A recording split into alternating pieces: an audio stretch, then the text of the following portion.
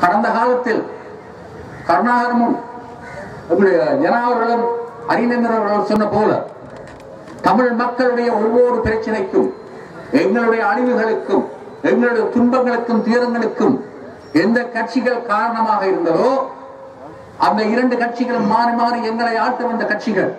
சுதந்திரம் பெற்ற நாள் தொடக்கம்.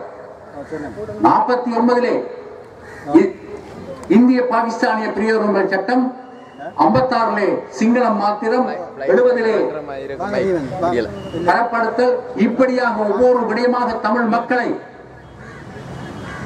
கண்ணாந்திர பிரஜைகளாக அடிமைகளாக மாற்றுவதற்கான ஒவ்வொரு சட்டத்தையும் ஏற்றி அது மாத்திரமல்ல.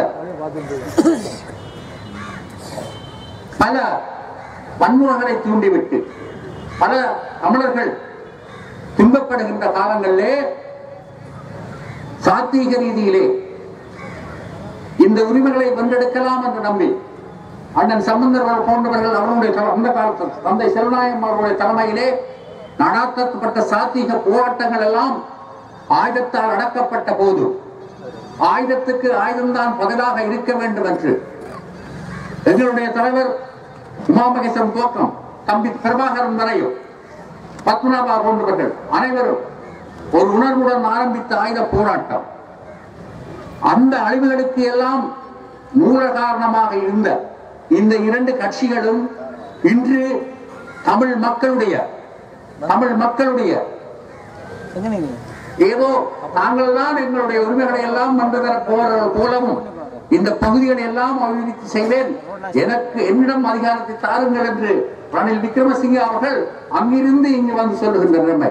ஒரு உள்ளூராட்சி சபை தேர்தலுக்கு அவர் இங்கு வந்து இவ்வளவு பிரசாரம் செய்கிறார் என்றால் இந்த தேர்தலுக்கு அவர் கொடுக்கக்கூடிய முக்கியத்துவத்தை நீங்கள் உணர முடியும். தமிழ் மக்களுடைய வாக்குகள் இன்று இருக்கிற நிலைமையிலே இந்த அரசியலமைப்பு நடவடிக்கைகள் நடந்து கொண்டிருக்கின்றது. அதே போல பல பிரச்சனை காணாமல் போனவர்களுடைய பிரச்சனை சிறைச்சாலையிலே வாடுகின்ற எங்களுடைய அரசியல் கைதிகளுடைய பிரச்சனை இந்த காணி விடுவிப்பு பிரச்சனை காணி அபகரிப்பு பிரச்சனை.